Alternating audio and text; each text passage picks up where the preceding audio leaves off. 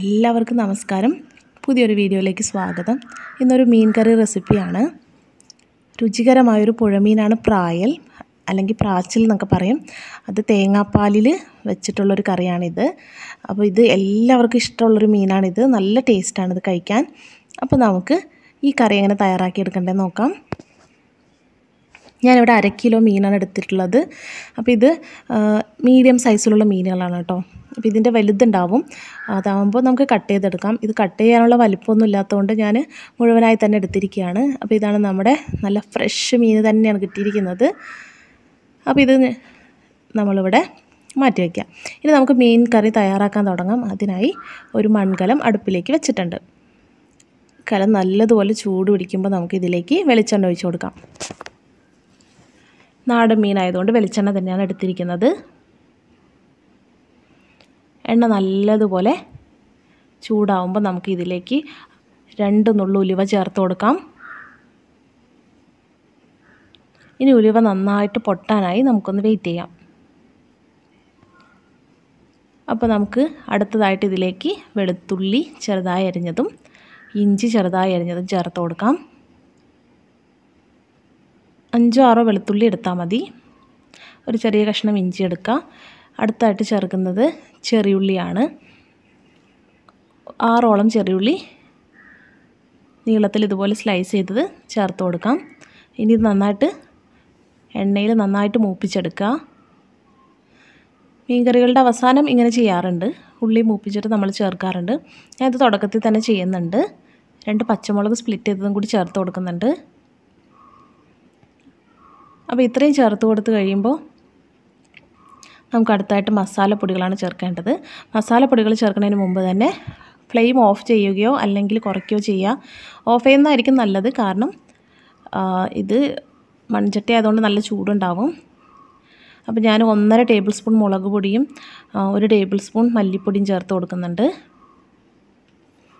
Spice ലെവലൊക്കെ നമ്മുടെ എരിവിനനുസരിച്ചാണ്. എങ്കിലും മുളക് പൊടി അധികം ചേർക്കേണ്ട കാര്യമില്ല കേട്ടോ. ഇനി നമ്മളിതിലേക്ക് കുറച്ച് മഞ്ഞൾപ്പൊടിയും കൂടി ചേർത്തിട്ട് പൊടികളൊന്ന് നന്നായിട്ട് മൊരിച്ചെടുക്കുക. ഞാൻ ഒരല്പം കാശ്മീരി ചില്ലി പൗഡർ ചേർക്കുന്നുണ്ട്. കളറിന് വേണ്ടിയാണ്. എനിക്ക് മുളക് പൊടിക്ക് ഒട്ടും കളറില്ലാത്ത പോലെ തോന്നി അതുകൊണ്ടാണ് ചേർത്തത്.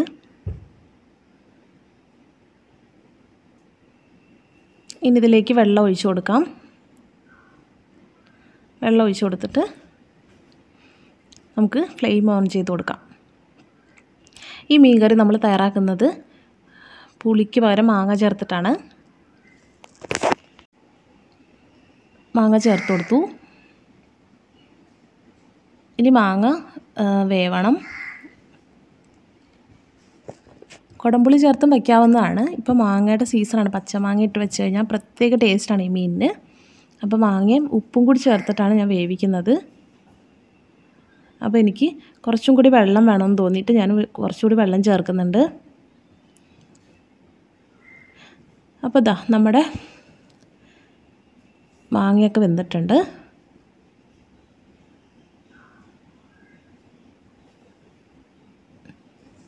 ഇനി നമുക്ക് മീൻ ചേർത്ത് കൊടുക്കണം. ഇപ്പോൾ അര കിലോ മീനാണ്. അപ്പോൾ നമുക്കിത് മീൻ ചേർക്കുന്ന സമയത്ത് വെള്ളം കുറവ് പോലെ തോന്നും. പക്ഷേ നമുക്ക് ആൾ അവസാനമായിട്ട് ഇതിലേക്ക് തേങ്ങാപ്പാൽ ചേർക്കുന്നുണ്ട്. അപ്പോഴായിരിക്കും കറക്റ്റ് കറിയുടെ പാകമാവുക. അതുകൊണ്ട് വെള്ളം ഒരല്പം കുറച്ച് തന്നെയാണ് നമ്മൾ ഒഴിക്കേണ്ടത്. കണ്ടില്ലേ? ഈ ഒരു രീതിയിലുണ്ടാവുക. പിന്നെ മീനൊന്ന് ചൂടായി കഴിയുമ്പോൾ തന്നെ ഇതൊക്കെ ഒന്ന് ഒതുങ്ങി കിട്ടും. ഒരുപാട് ഇട്ടിളക്കരുത് ഇതുപോലത്തെ ഒരു സ്പൂൺ വെച്ചിട്ട് ചെറുതായിട്ട് ഇങ്ങനെ ചെയ്തെടുക്കുക. ഒന്ന് തിളയ്ക്കുമ്പോഴത്തേനും തന്നെ വേവുന്ന മീനുകളാണിത്. അധികം വേവൊന്നുമില്ല ഈ മീനിന്. അപ്പോൾ ഇതാ തിളച്ചപ്പോൾ തന്നെ എല്ലാം ഒന്ന് ഒതുങ്ങി കിട്ടിയിട്ടുണ്ട്. കടലിൽ അപ്പോൾ മീൻ ഇപ്പോൾ തന്നെ വെന്തിട്ടുണ്ടാവും.